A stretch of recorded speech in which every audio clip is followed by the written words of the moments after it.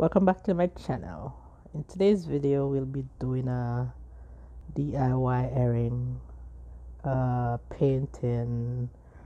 I'm not sure what exactly to call this um, project but we'll be doing it. So I have an earring that I bought a few years ago about two years ago maybe about 2000 no 2018 2019 around that time. Love the design love the wooden earring love the tree of life um, design on the wood piece. It was an earring i'm a i am a hoop girl love my hoops you know always in a hoop. But this earring i saw and i loved it because of the design on it. But i i've i've never worn the earring and i think because i love black but for I, I wanted the, the, the tree of life to pop and I said I was gonna get somebody else to do it. I said maybe I'll figure out a way of doing it differently so the tree of life pops, right? Had it had the intention of doing exactly what I'm doing right now to it. Never got around to it.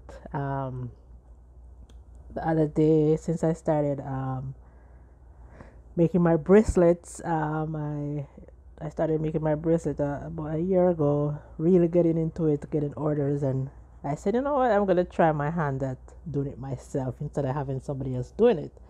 I still didn't didn't get around to it. The other day I just got up and I said, you know what, I am going to do it.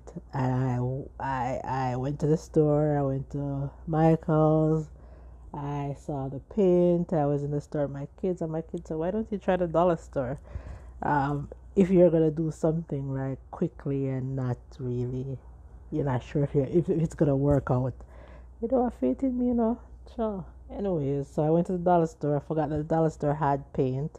Cause you know you have kids, you have project for school, so you had to go to the dollar store to buy the paint. But anyways, I went to the dollar store. At the dollar store, I realized they had mud, mud, mud Podge.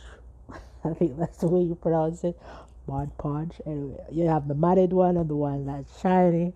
So I bought those also. I bought different colors, paint, and I came home. It sat there for like maybe a month. I didn't do anything with it. And I said, yes, since I summer is coming, my hair will be down. You know, my colors will be popping. You know, my favorite color is the Jamaican color. what? Green, yellow, and black, of course. And also the Rastafarian color. What? Red. What? Yellow. What? Green. Of course, those are my colors. Anything I don't know why I I love other colors, but I don't know why I always gravitate to those colors. But anyway, I decided that I'm gonna do my earring because you know summer is fast approaching. I wanted to wear with whatever outfit I have. So and I have my bracelets already that I made for myself. That you know always in my Jamaican colors and my Rastafarian colors, so I can match. And anyways, so I decided to do it today on video this is what i'm showing you. Um, you'll see me doing first i think i scraped not scraped i buffed the earring. I didn't have any sandpaper but i had um, files for my fingernails. So i used one of those and i buffed the earring buffed or filed the earring whatever the word is to get it a little smoother. It wasn't not smooth to get it a little rough so the paint could actually stick to it. Um, so I did that in the beginning. I show I showed you every all the items that I've been using, and then you saw me go to work on my earring and w- the design I was really going for the the paint.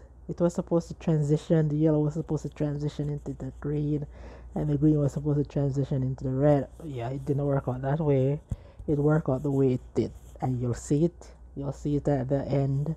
I think you saw it in the beginning because I posted a picture first and then in the end part you'll see how it work out. But it's a practice. I'm gonna look for more wooden earrings and um, practice that transition from yellow to green. So it should be you know when the paint transition into green yeah I'm gonna practice and keep practicing until I get it but anyways I hope you like it. And um, you find you saw me use the mud mud mud podge mud podge. Um, I use a glossy one. So after I painted I let I let the earring sat for a few hours. Um, I didn't just paint it uh, do it right away.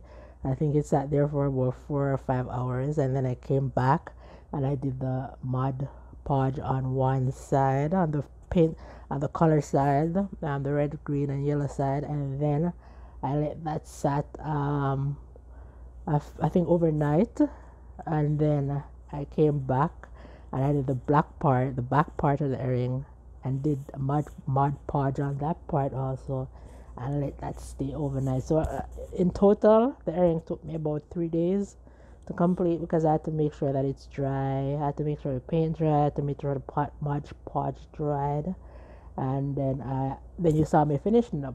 And you see once you put the mud Podge, when once you do the painting, the painting is just blah. Once you put the mud Pod mud Podge over it, it becomes very glistery and nice and shiny and then you saw me finishing up the earring with the the hardware, putting back the hardware on the earring, and um, yeah, I love my earring. I hope you like it too.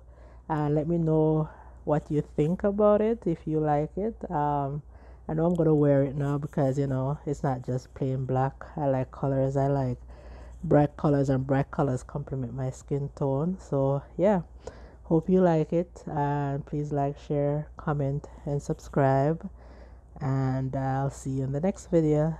Thank you.